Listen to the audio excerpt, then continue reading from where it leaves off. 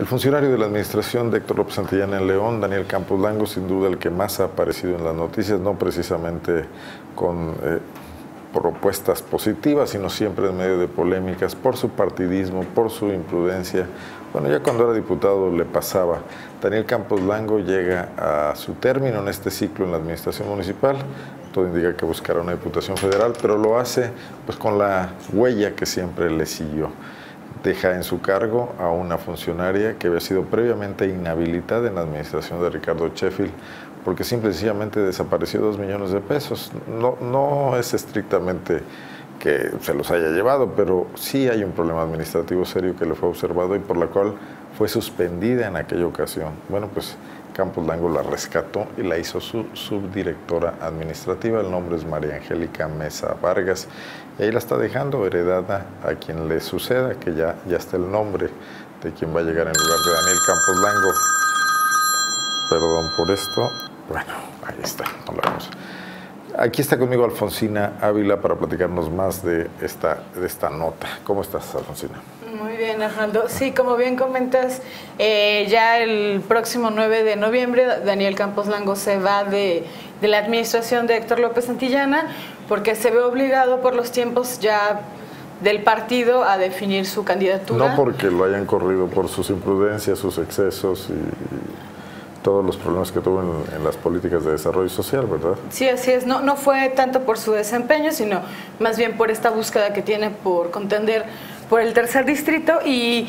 Eh, diputación local. Diputación, local, nuevamente quiere repetir en la diputación local y en medio de esta, pues, de estos señalamientos él hereda pues un equipo observado por por algunos eh, procesos administrativos, como lo fue en la Contraloría, esta subdirectora que es em, María Angélica Mesa Vargas, que en su momento fue directora administrativa de la Comude durante la administración de Ricardo Sheffield.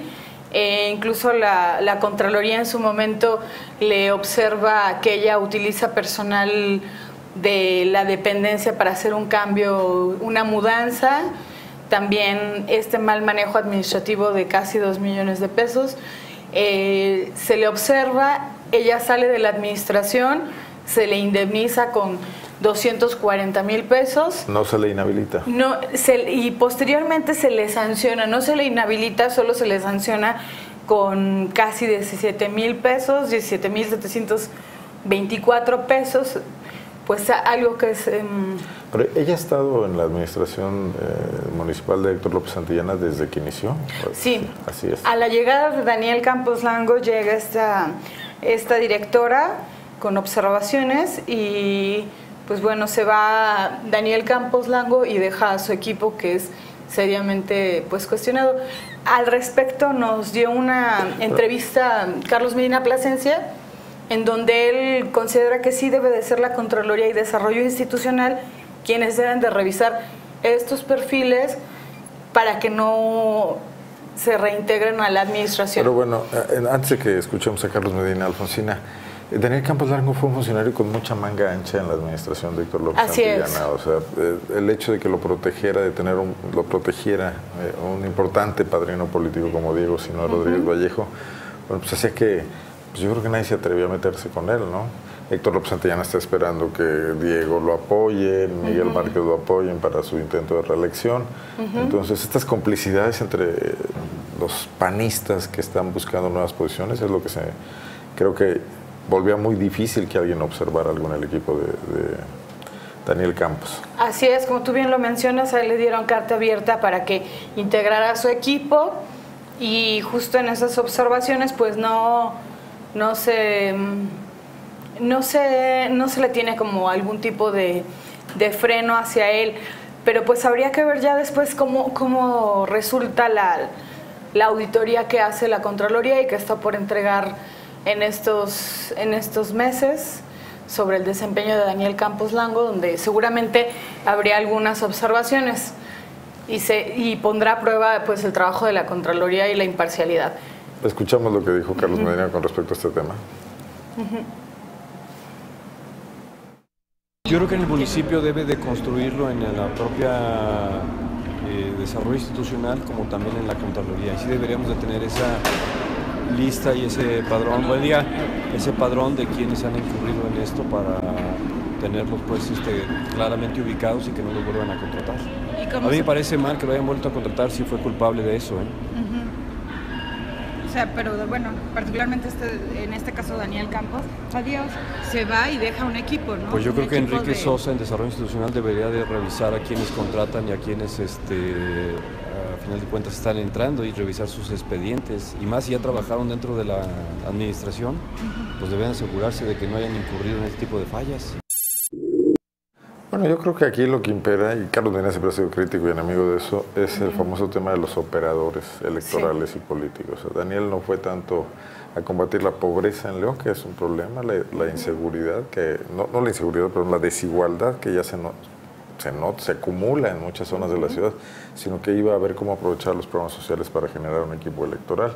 Quizás gente como María Angélica Mesa Vargas formen parte de eso son cuadros panistas, que ya no importa mucho su desempeño y el cumplimiento que hagan de las normas, sino los resultados que les dan políticamente, el tema del clientelismo. ¿no? Sí, y al final, y al final es una eh, servidora pública que es observada por su mal manejo administrativo, que regresa a un área que es pues socialmente vista electoralmente y pues al manejo de los recursos. Quizás en su momento también. Si me dices que eh, no pudo explicar el destino de dos millones de pesos y después la indemniza todavía antes, de, salir. Antes de salir.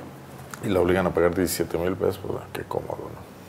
Sí, así es. Vamos a ver qué, más bien qué actitud toma el relevo de, Daniel Campos Lango, esta funcionaria que viene de la Secretaría de Desarrollo Económico, ¿no? Verónica creo que son.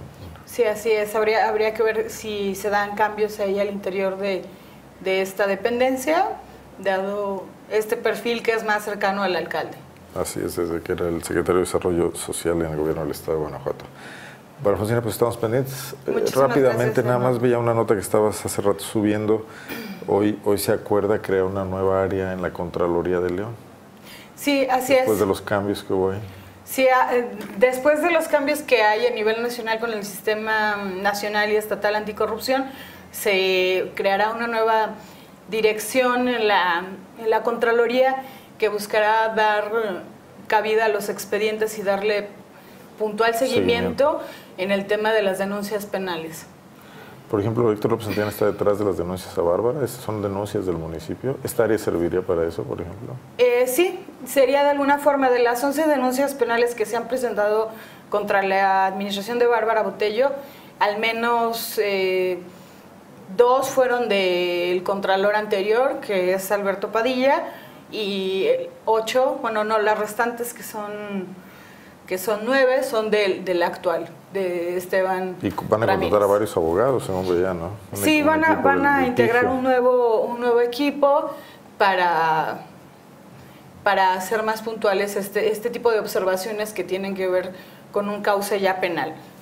Habría que ver que si, si, si, tienen una imparcialidad esta, esta dirección, esta Contraloría, que mucho se ha dedicado a seguir los excesos de la administración anterior, pero que ha omitido los, actuales. los actuales, sí, efectivamente. Como, suele suceder.